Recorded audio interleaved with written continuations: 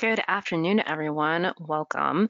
The NOAA Central Library seminar provides an ed educational forum for the presentation of ideas, research updates, and news in support of NOAA's mission. I'm Katie. Please note this presentation is being recorded and your name, email, and questions will be shared with the presenter after the fact. As an attendee, you are muted, so please place all questions in the question panel. Questions will be asked at the end of the presentation.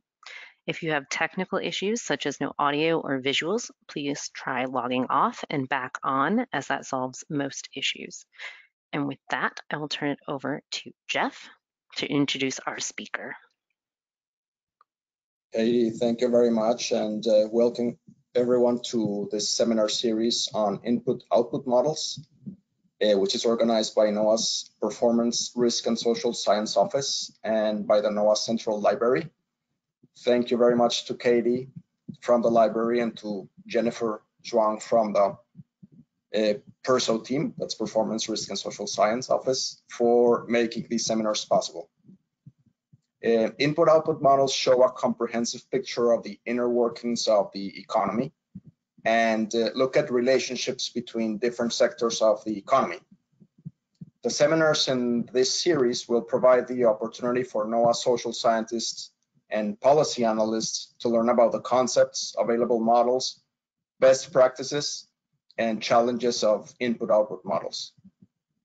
Today's seminar, which is the first seminar in this series, will offer an overview of the Bureau of Economic Analysis, BEA, supply use tables, which are the building blocks of input-output models. It will also introduce the Regional Input-Output Modeling System, or RIMS, which can be used to study how a new project, for example, the development of new infrastructure or the expansion of a marine protected area, can impact the activity of the different economic sectors of a region and lead to changes in employment. The other seminars in this series will be on August 26th. Uh, BEA will present its satellite accounting and the marine economy satellite accounts October October 20th uh, there will be a presentation on, on, the use of IMPLAN modeling system uh, for fisheries analysis. On October 28th, there will be a um, presentation on model concepts and uh, so, sorry, um, input output modeling concepts and the social account model. And uh, now I have the pleasure of introducing today's speaker, Connor Franks. Connor has been an economist with BEA for five years and specializes in input-output accounting. He has worked on a variety of satellite accounts, including the outdoor recreation satellite account, the marine economy satellite account, and the space economy satellite account. His work on these satellite, satellite accounts ranges from research and development of estimates, technical oversight, public outreach, and development of publication materials. Connor, thank you very much for accepting the invitation to speak at this seminar series, and the floor is all yours. Thank you very much, and good afternoon to everyone. Um, so, as mentioned, my name is Connor Franks, and I'm an economist at the Bureau of Economic Analysis. Um, so, this first section of this seminar is going to cover an overview of the supply use tables, and then we'll talk a little bit about their applications um, so when I talk applications, I'm going to be specifically talking about what BEA refers to as our requirements tables. And I'll also touch on the regional input output modeling system or RIMS 2 that is produced by our regional directorate here at the Bureau of Economic Analysis. The second part of this webinar series will talk a little bit about the marine economy satellite account that BEA and NOAA have put together over the last, uh, I guess it is five years at this point. And we'll dive into sort of a stylized walkthrough about how BEA takes its supply use tables and turns those into a satellite account. So we can get a little bit of a sort of under the hood look at how BEA creates a satellite account and all of the various different pieces that go into it. But before we dive into that, we're going to need to have a good understanding of what a supply use table is showing us and how BEA puts those together. and then some of the various different applications. So without further ado, I will start at the very beginning. We're going all the way back to Econ 101 here with the circular flow of goods and services. Um, now, this might be a fairly basic representation of an economy, but I think it does lend itself well. And sort of the point I would like to, to bring out is that within the circular flow, everything stays within this economy. Everything's kind of flowing around within. And I like to think of supply use tables in the same way. Um, so if something is produced in an economy, it has to be used in the economy. And that's sort of an underlying assumption in a supply use framework. And it's one that really is quite important when we're talking about it. Um, so these are just two sort of stylized examples of a supply and a use table here. And what the supply use tables can offer us is we can start unpacking some of the portions of the circular flow here. So if we wanted to look at this business box or this goods and services flow, we could first go to the supply table, which is going to show what is made and what is imported. And it's also going to give information about who is making it. Um, so on the supply table here, we've got industries on the, the columns, and we've got commodities on the rows, and a supply table is going to show which industries are producing which commodities. Um, we wanted to further unpack this business box here, we can look to the intermediate input section of the use table, which is going to show the material components of production. So it's going to also have industries on the columns here and commodities on the rows in the use table.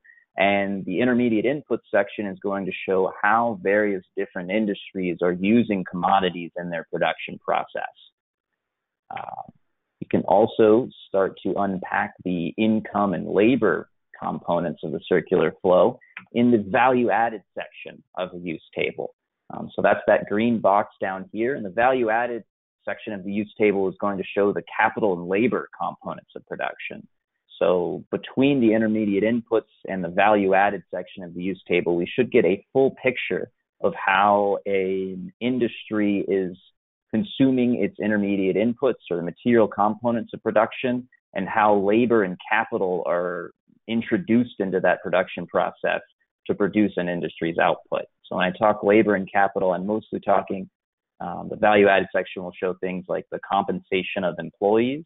It will also show um, what BEA refers to as gross operating surplus, which is principally a uh, profits measure but also includes consumption of fixed capital or the consumption of capital in the production process of an industry. Um, we can also start to unpack this expenditures flow as well with the use table. And that's going to be in the final demand section over here on the right in blue. Um, so this is going to include things like personal consumption expenditures or PCE, private fixed investment, change in private inventories, exports, and government consumption and uh, gross investment. And so that's going to show where commodities are flowing to their final users. Um, so that's just a brief overview of sort of the sections of your supply and your use table. Um, like I mentioned with the circular flow, really everything needs to, to sort of add up in a use and supply uh, framework. So really briefly, I'm just going to walk through in a little bit more detail so we can actually maybe read some of the writing on these tables and, and talk through um, primarily what this big orange diagonal is doing in the middle of the supply table. Um, so this orange diagonal is something we refer to as the, the main diagonal of a supply table. It's where an industry is producing its primary output. Um, so what I mean by primary output, and you can look here, this is the agricultural industry, and its primary output is the agricultural commodity. That being said, we do know that the agricultural industry is also producing some other commodities um, in its production process. Um, one example here is going to be the agricultural industry is almost certainly producing some amount of construction as well. And so that's what we call secondary production, where we have an industry that's producing output that's not its primary output, that's not this one to one sort of correlation. Um, so the, the best way I have to describe, you know, what secondary output is, is typically we call something at BEA secondary output if it has a very different production process from the industry's primary output. For example, uh, there's probably a coffee shop in pretty much every single hospital you go to. That coffee shop is probably run by the hospital, and the coffee produced there um, is in hospital receipts that we would get from the economic census. But the production process to produce a cup of coffee and to, you know, do surgery are very different production processes. So we would call that uh, the receipts from that coffee shop in the hospital secondary production, but it would still show up here in the supply table. So you would still have uh, educational and healthcare services producing some food and beverage services because of that coffee shop. So that's that's secondary production in a nutshell, and it plays into our satellite accounting um, when we go to translate sort of the satellite account into actual estimates. You can get some interesting things happening because of that secondary production. So I just wanted to introduce it here in this first uh, session so we can kind of prime the pump when we get to that discussion later on down the road. Um, and finally, this is just a, a, slightly closer view of the use table. I'm not going to spend too much time talking about it, but I just wanted to make the point that we're really utilizing every single component of the use table when we move to satellite accounts.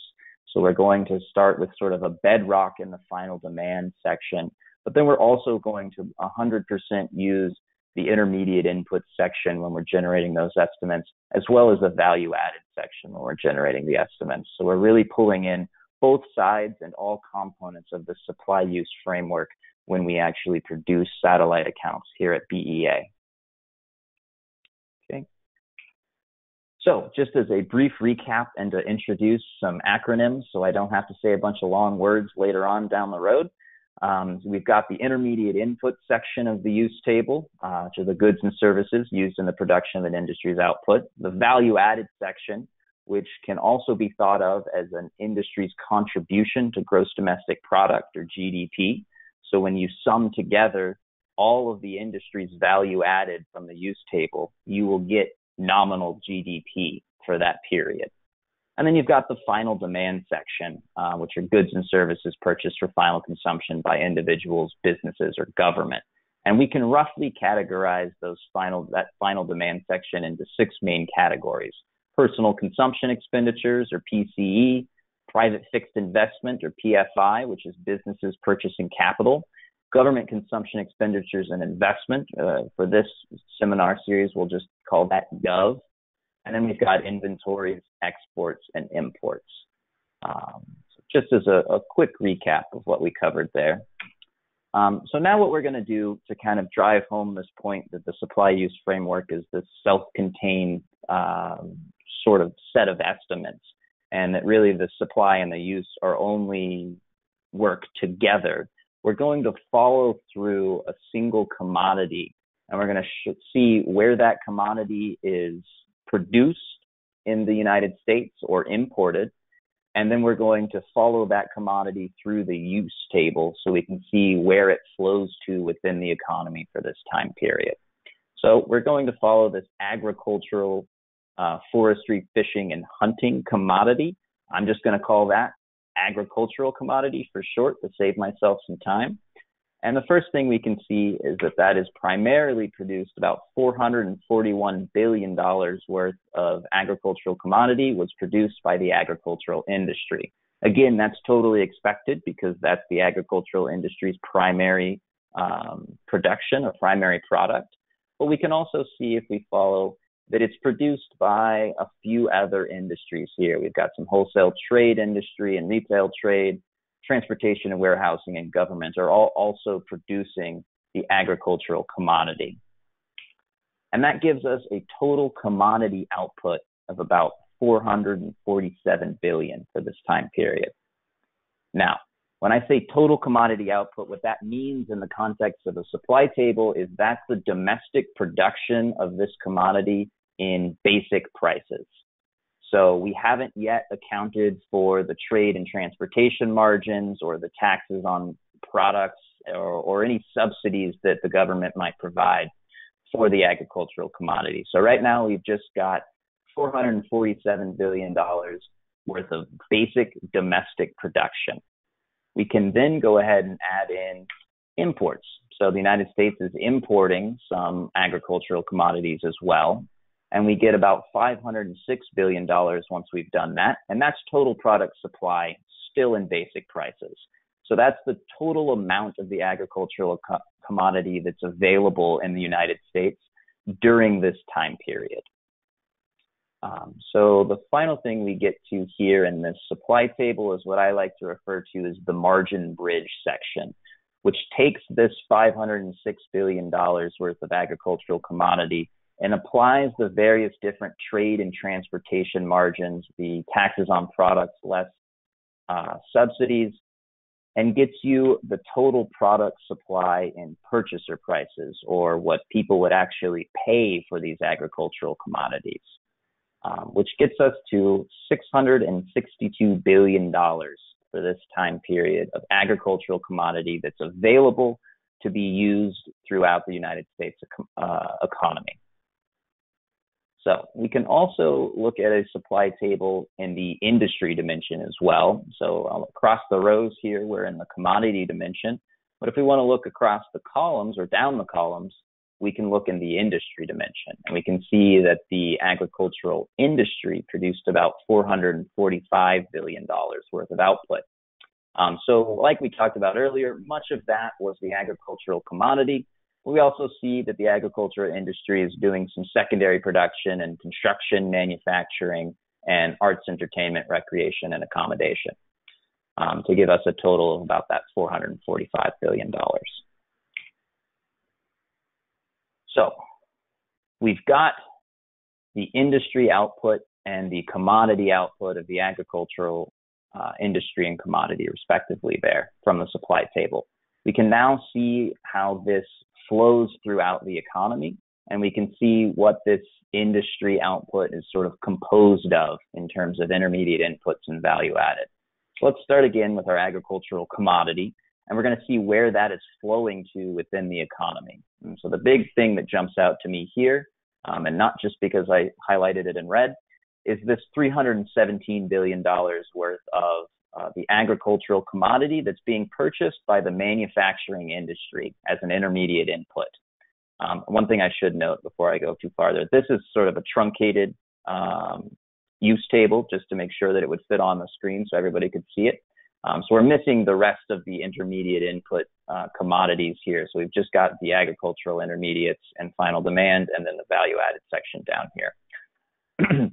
um, but so we've got manufacturing purchasing 317 billion dollars worth of the agricultural commodity, um, and that makes perfect sense because we know that uh, the manufacturing industry is responsible for taking a lot of those raw goods and uh, materials that are produced in the United States and turning them into something, manufacturing them into something. So uh, that makes perfect sense to me that that would be the largest purchaser of the agricultural commodity.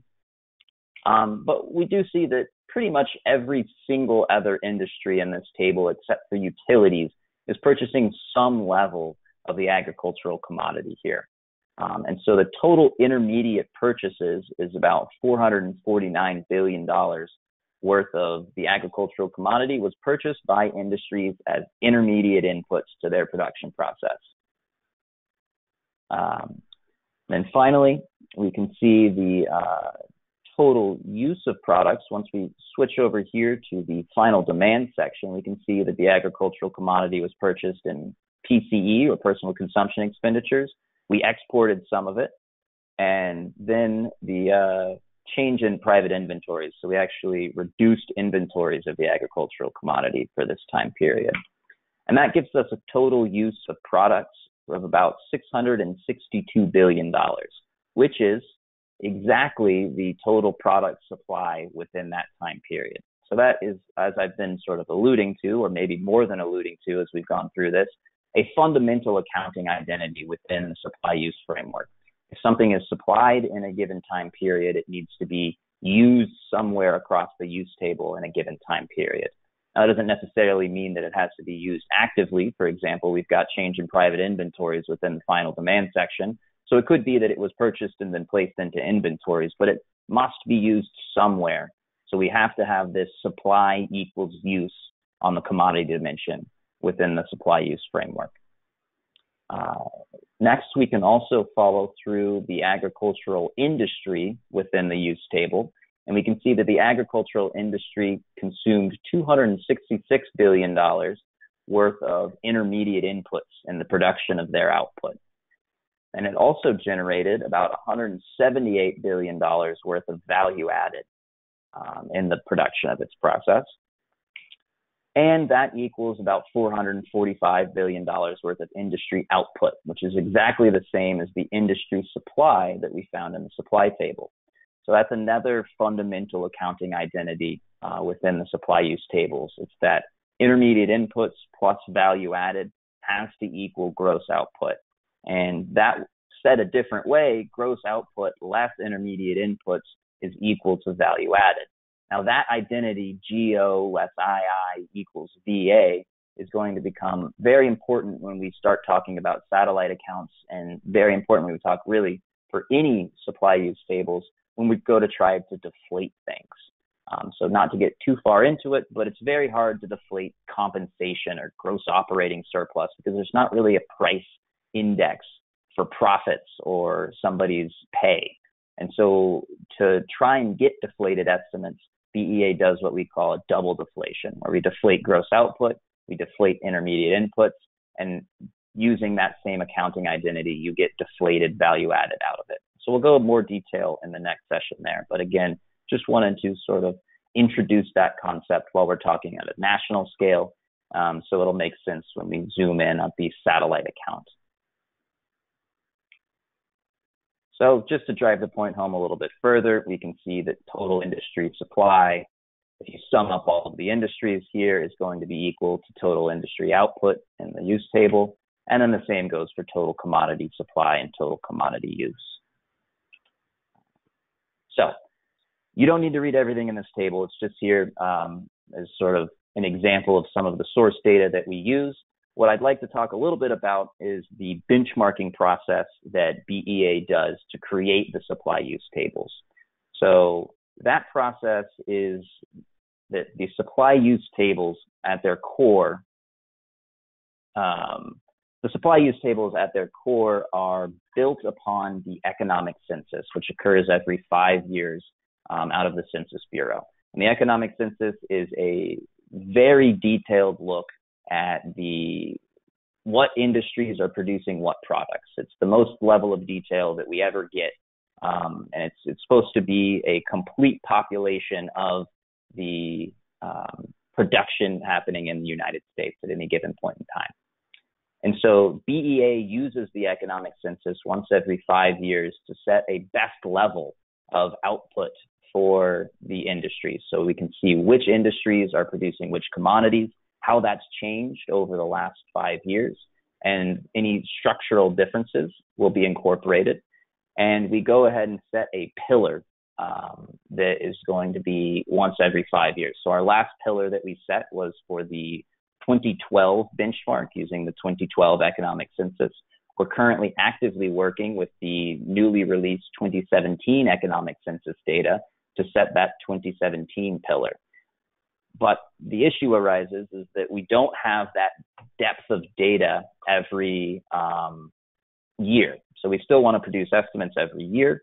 Um, so what we're going to do there is we're going to use primarily uh, census and BLS source data to sort of extrapolate that best level that we set in our pillar year forward until we can get to another economic census year. So this is just an example of some of the source data that we use uh, to do that in sort of non-benchmark years. I'm not going to go through it in any detail at all, but suffice it to say that we primarily use census data and other government uh, organizational data. In some cases, we do have to use private data to fill in the gaps. Um, but for the most part, we're using the uh, government data here to, to produce our estimates year to year. And then we, when we get that economic census data, we're able to get that very detailed look about what's going on. And that's really what uh, the supply use tables rest on, because it's all about getting the most accurate picture and the most detail possible of who is producing what and who is consuming what. within the economy.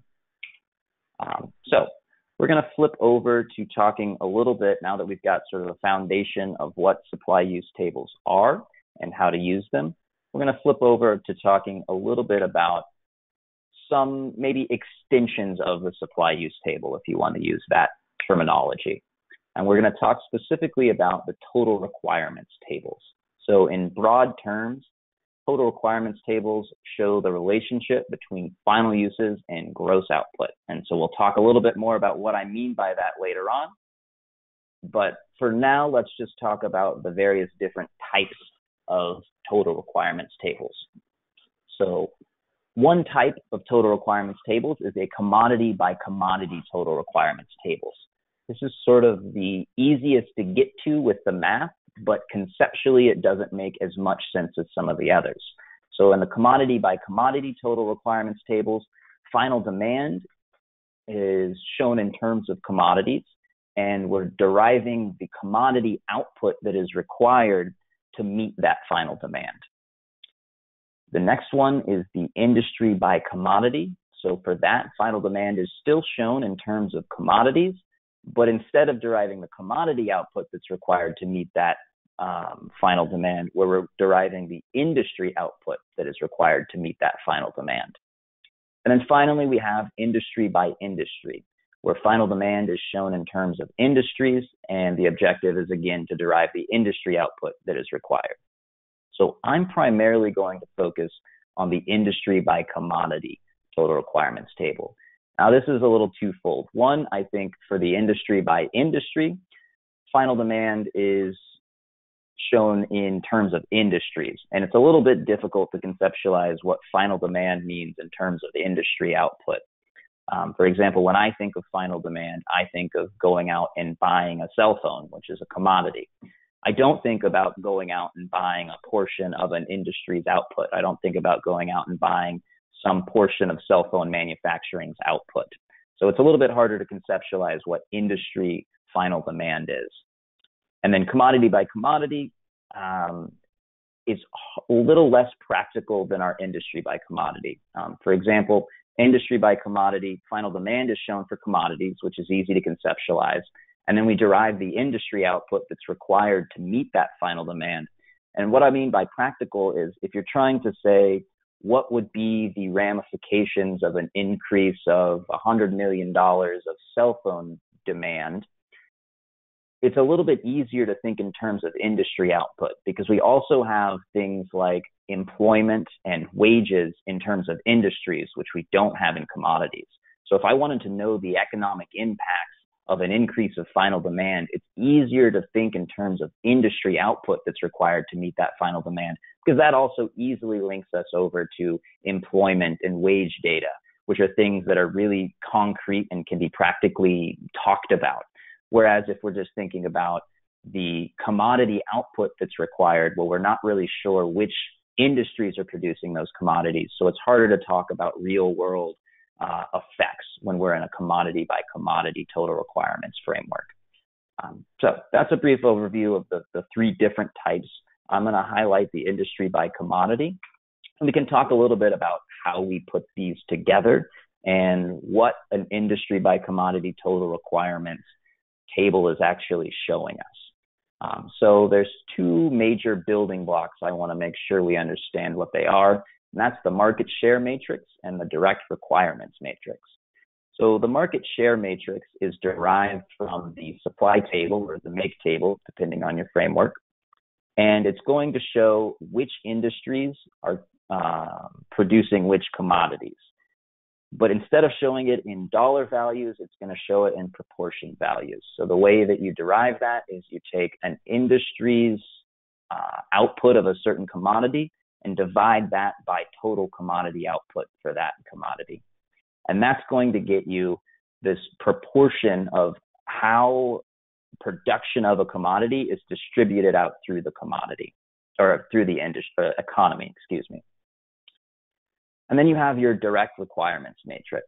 So the direct requirements matrix is going to show one step down the supply chain. What are the inputs necessary for an industry to produce its um, output?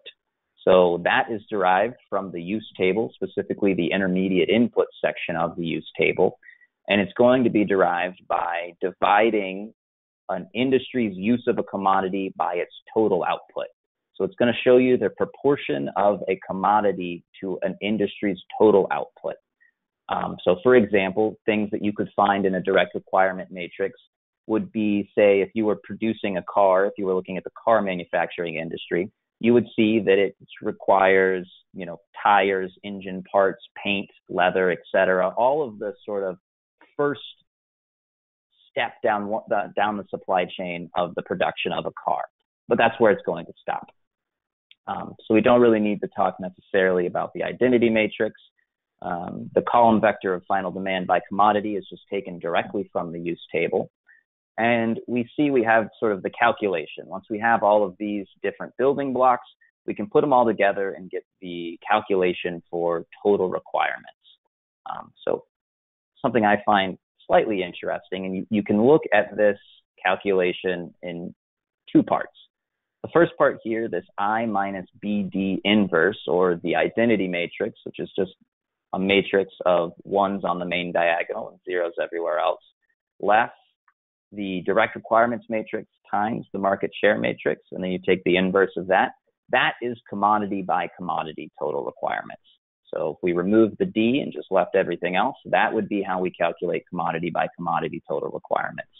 We introduced this market share matrix in here to reintroduce the industry by commodity because essentially what the market share matrix is showing us is where the commodities are produced. And so by reintroducing this market share matrix to a commodity by commodity total requirements, we can say, okay, we've got commodity by commodity, but where are those commodities being produced? And that reintroduces the industry portion and turns this into an industry by commodity total requirements. Um, so that's probably more calculations than anybody wanted to hear. So we'll switch over to some examples of what total requirements look like. Um, so there's a few things I want to hit on here on this chart. Um, so the first thing I want to say is that this is not real data. This should be fairly close to what you would find um, on BEA's website, but it's all just sort of stylized. So the first thing we want to look at is that we've got industries on the row now, and we've got commodities on the columns. So that's a slight difference from the supply table and the use table that we looked at earlier. And so if we sum down the row here, so let's look at this agricultural, agricultural mining and construction column. If you sum down the row, we get $1.88. So what that is telling me is that to get $1 worth of agricultural mining and construction commodity output, you need $1.88 of industry output. And that $1.88 is spread across the, a variety of different industries here. Primarily, that's coming from the agricultural, mining, and construction industry, but we're also got some other ones going on here too.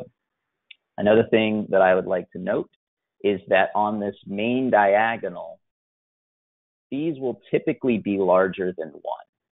Um, and these down here will always be larger than one. And the reason that the, the sums down the columns will always be larger than one is because that total industry output is inclusive of the $1 that is the increase in commodity output here. So we're saying you need a dollar 88 worth of output to create $1 worth of agriculture, mining, and construction of that dollar 88, one dollar of it is the direct effect, the direct increase in commodity output, and 88 cents worth of it is the indirect effect, uh, which is the you know induced demand that needed to happen, or the induced output, I should say, that needed to happen to generate that one dollar worth of output. Um, so we refer to the column sums as sort of backward linkages, where they're linking an increase in final demand or an increase in commodity output to industry output. We refer to, if we had them here, the row sums as forward linkages, where we're saying an increase in industry output will generate this amount of increased demand. Primarily, most of the, re- of the uh, economic impact models that I'm aware of are concerned with these backward linkages. They're trying to see what an increase or a decrease or just a change in final demand would do to industry output. That's primarily the ones, and I'm sure that there's some models that look at forward linkages, but the, the, the majority that I'm aware of look at backward linkages. So we've covered this briefly, but just sort of to recap, um, there's a variety of different things you can do with total requirements, um, but you can use, they can be used to analyze linkages between final demand and output. Um, but they can also be used to analyze which commodities are contributing to the production of commodities or industries. Um, and you can do it with a little bit more detail because total requirements are looking at the um, the full supply chain. Whereas the use table, you really only get one step down the supply chain to see which intermediate inputs are directly contributing to the production process of an industry. The total requirements are going to show you all of the intermediate inputs that are required to produce industry output or required to produce commodity output. Um, so one thing we talk a lot about in the marine economy satellite account is this idea of blue tech, which we think is typically an input into a lot of different inputs in the marine economy. And so a total requirements could possibly show in a little bit more detail how blue tech commodities are being used in the production process of marine industries. And we could help trace some of the indirect effects of blue tech uh, with a little bit better or, or more accurate detail. Um, so let's do some actual numbers and see how we could actually use a total requirement and what an impact analysis would really look like using BEA's total requirements models. And this is fairly bare bones. This is a totally stylized example. Um, so in this economy, we only have uh, two industries and two commodities. We've got an industry by commodity total requirements table. So industries are over here on the rows and commodities are over here on the columns. And we're going to trace through an increase in the final demand of goods of $180 million. And we're going to see both the direct and indirect effects that that $180 million will, will occur. So the first thing is we look and see how much goods output is going to need to increase. So we can use our total requirements and we can say what this is showing me here is that for every dollar worth of goods output, we need a dollar seventy-five, roughly a dollar seventy-four worth of goods industry output, and we need forty-four cents worth of services industry output to get one dollar worth of goods. So this 180 million is going to be multiplied by this one point that should be 174 to get 313 million dollars worth of goods output that's generated, that is necessary, not even just generated, necessary to provide $180 million worth of final demand of goods. But we also get, even though services, the final demand of services is not increased, we also know that there's about, for every dollar worth of goods, there's 44 cents worth of services industry output that needs to be generated. And so we get that same calculation here, but with 44 cents here. And we get $79 million worth of services output that is generated uh, based on a final demand increase of goods of 188 million. So one thing to note here is this 313 million dollars worth of goods output is inclusive of this 180 million. So 180 million is sort of the direct effects of 180 million dollars worth of final demand being, you know, in, an increase of final demand of 180 million dollars. That's the direct effect. We know that's produced, but the 100 and I guess that's 33 is that right? Yeah, 133 million dollars worth of indirect effects were also produced of goods output. And then another $79 million worth of indirect services output was induced by this $180 million worth of uh, goods. And so if we put those together, we get a total increase in output of $392 million, 212 of which was the indirect effects that we got from the total requirements. Um, so briefly, I'm going to go over the RIMS model that BB, uh, BEA prepares. Um, so RIMS is a fee-based model that's used by governments, businesses, and various different policy-making uh, institutions to track the impacts of a an increase in something, a change in a region, and to see how that's going to increase either output, value added, earnings, or jobs impacts, depending on which multipliers are chosen. Um, so specifically, this is a regional model. Um, so it covers either states or counties, and they have down to about 372 detailed industries or 63 aggregated industries, I believe.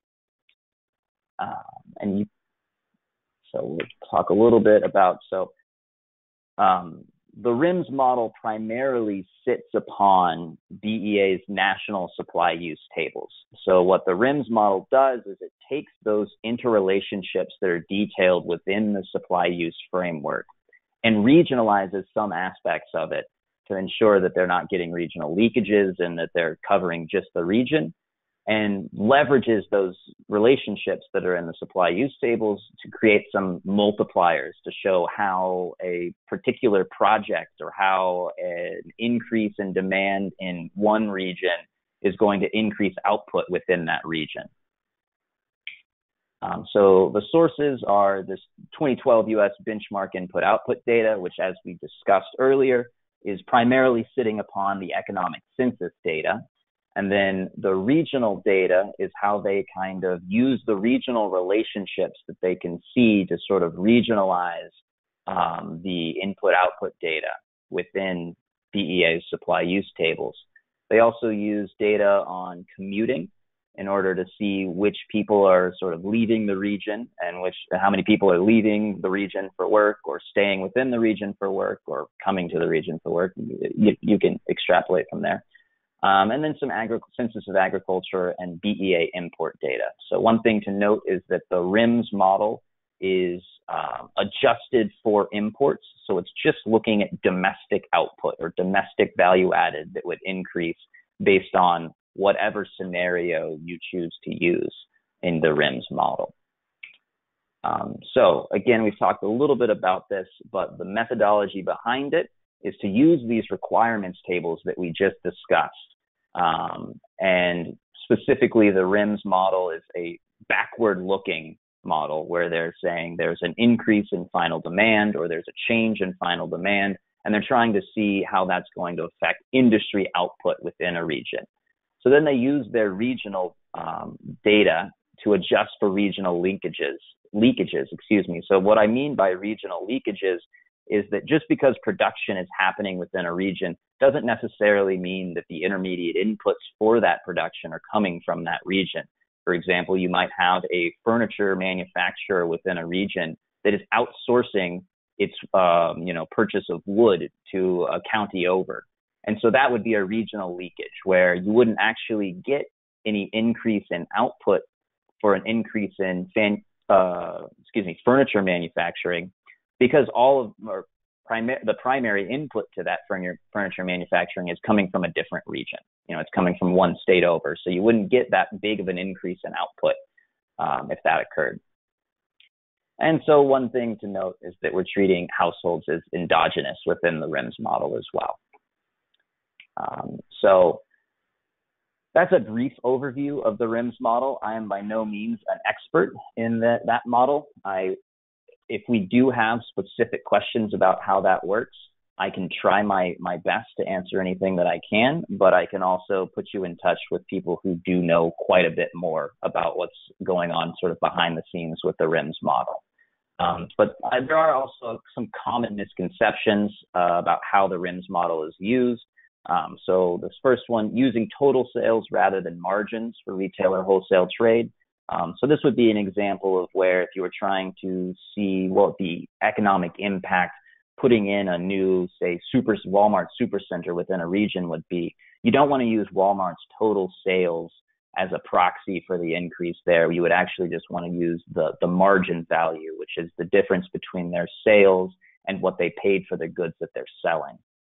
Um, so another one that I wanted to highlight uh, is using multipliers for a short-term event um, with the final demand change large enough to change the structure of a regional economy. So this is using RIMS for, say, modeling what would happen to the economic impacts or what would happen to the economy after a, a hurricane hit and just you know devastated an area. Um, so you can't really do that because RIMS is sitting on these sort of national um, or regional uh, Uh, in the RIMS model, regional input output relationships that existed prior to that short term event. So you'd be using the RIMS model to see how a decrease in demand would flow through the economy on an economy that might look drastically different after it was hit by a hurricane. So if there's a large enough event that it changes the very structure of a regional economy, you're not going to be able to use the past structure to see how that's going to affect the economy. So that's that's a question that I think we get a lot um, if, if, we can use RIMS for that. Um, and so the that pretty well covers what I wanted to talk about uh, with RIMS and just in general.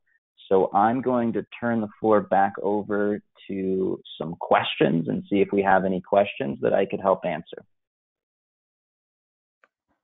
Great. Thank you so much, Connor. Um, yes, just a reminder, if you do have a question, please put that into the question panel. It should be on your sidebar there, or you can put it in the chat. I'm not currently seeing any questions, so I'm going to um, ask Jeff if he has anything he'd like to add. Thanks, Katie. Um, Connor, thanks very much for that very interesting and uh, comprehensive uh, presentation. Um, just had a quick question that I know um, several people uh, in NOAA um, are thinking of, and that is uh, using a model such as RIMS uh, versus other um, models that are uh, common and commonly used, such as IMPLAN or REMI. When, in general, would it be appropriate to use RIMS and not use the other models, or use one of the others and and not RIMS? Thank you. Sure. So I can't speak too much about other models. I can say one thing that is a benefit is I have ran into IMPLAN models in the past uh, that were using, say, BEA's 2002 benchmark data as their basis and hadn't been updated in a long time. And so I think that's where you can start to run into some issues. And I think one of the benefits that we can introduce with RIMS is that it is going, since it is produced by BEA, you get that assurance that we're updating it as frequently as possible. Um, so I think there, there, I guess I'll say not all IMPLAN models are made equal. And so when making that decision, I think you definitely need to look and see what the basis of an IMPLAN model is um, before kind of pulling the trigger on that. Um, and then also, I think the the regional aspect of RIMS is something that not all IMPLAN models can offer. Um, though I'm, I'm sure that they, they absolutely can in, in some instances. Thank you. Thanks, Connor. We have a few questions that came in. Our first question is, what are the offsets?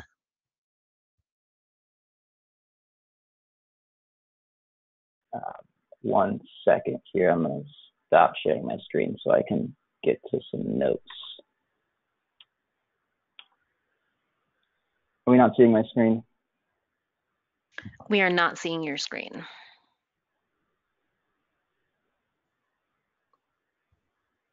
Okay, so the offsets into consideration um, are talking, speaking specifically towards where the event in question that is being analyzed by the RIMS model is causing some decreases elsewhere. Um, so, for example, if you have, say, a, uh, we'll stick with the Walmart Supercenter coming in. If you just look at the increase in output that the Walmart Supercenter is going to bring into a, a region, you're probably not also going to take into account that some smaller grocery stores or specialty shops might be going out of business or getting less business because of that uh, economic change from the Walmart supercenter.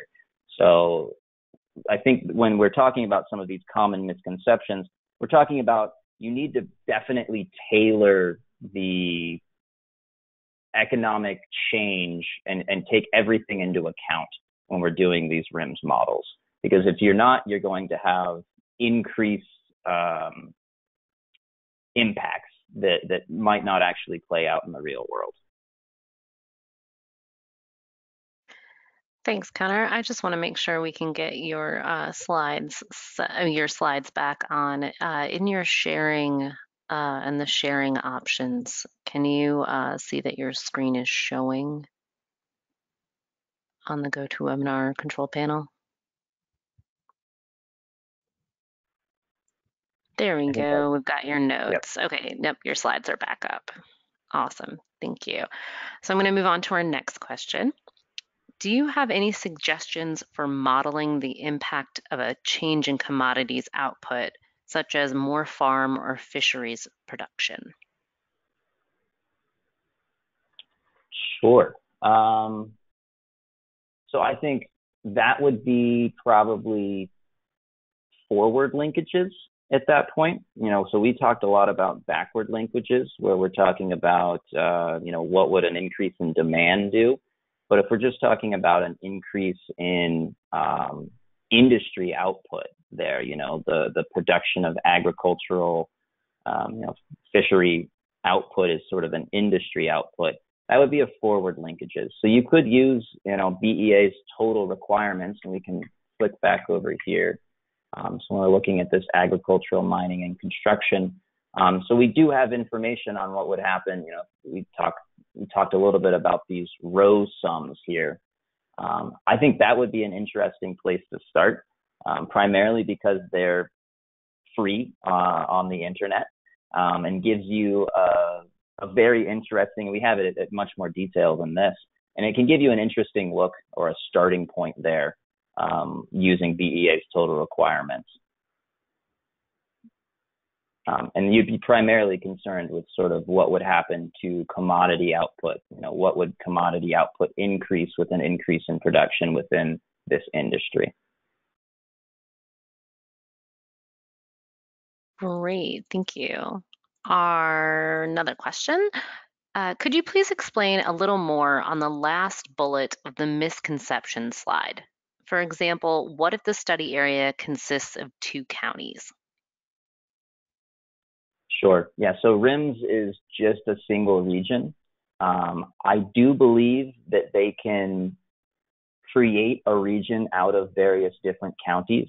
Um, so that that is not a problem. The problem lies in when you want to sort of compare two different things. You want to see how two different counties are going to increase with the same uh, economic change. And so we can sort of, know, again, I, I, this is my belief, but we can talk more about RIMS offline. Um, and I can connect with people who are a little bit more knowledgeable. But my understanding is that you can sort of tailor fit a region, but it's just that region you're looking at. You're not going to be able to look at multiple regions with the same RIMS model. Um, so you kind of need to say this, it's these counties, yes, but that sets your region. And once you've set that region, it's that going forward. Great, thank you. Uh, this question was an partially answered earlier, but if you wanted to elaborate on that, that would be fine. Uh, what are the advantages and disadvantages of RIMS 2 over, say, REMI or IMPLAN? yeah, I don't think I have too much to to expand. I, I can't speak too much to to models that I don't uh, have intimate information about, like like REMI or IMPLAN. So it's hard to make comparisons there. Okay, great, thank you. Uh, that is the end of my questions right now, unless someone is furiously typing. So we'll give everyone another 30 seconds. And in the meantime, Jeff, could you highlight when the that next seminar is? again. Sure, Katie, can I ask another question to Connor? Oh yeah, go ahead. And that's uh, regarding um, the multiplier, the um, employment multiplier, basically the creation of jobs uh, from a certain investment or project. Um, and my question is if uh, if these models take into account the num the possible jobs that are taken taken away from other industries to supply, for example, uh, new jobs created in in the in this project? Sure. Um, so that sort of depends on a few things. So that's a little bit what I was talking about with those offsets, um, where that's a little bit on the the, the person setting up the RIMS model or the, the client. uh, of BEA to take into account what the some of the effects would have um, on an economic impact. And then if you start getting too far into a structural change, that's what this bullet point here is really speaking to. Where if you've totally change the the structure of a regional economy with a change, then RIMS can't really handle that because we're using those interrelationships within the region that have already kind of been set. And so if there's just this very dramatic change, it's not going to necessarily handle it. Now, that being said, that most economic changes aren't going to be changing the structure of a regional economy so dramatically that it's going to, to fall to that point. Um, you know, that's usually we talk about that in terms of, say, natural disasters that are going to do that. Um, but I think I think there is there is an aspect, but it needs to be in those offsets where we talk about okay, we know that there's going to be this increase in employment, and we also think that there's going to be a decrease in say maybe industry output here, and that would then filter in for the the decreases in employment that that decrease in industry output would uh, would bring to the table. Thank you, Connor. Katie, the next uh, seminar in the series is on August 26th, and that's on BA satellite accounting and the marine economy satellite accounts. Great. Thanks, Jeff, and thanks, Connor. I do not have any more questions, so we can give everyone back a couple minutes of their day. I look forward to seeing everyone on Thursday for the follow-up to this presentation. Uh, Thank you all for joining us today. If you missed it or if you'd like to pass this on to a colleague, uh, the library has recorded it and we will be posting it up on our YouTube channel and uh, I let I put that link into the chat. Thank you all and have a great day.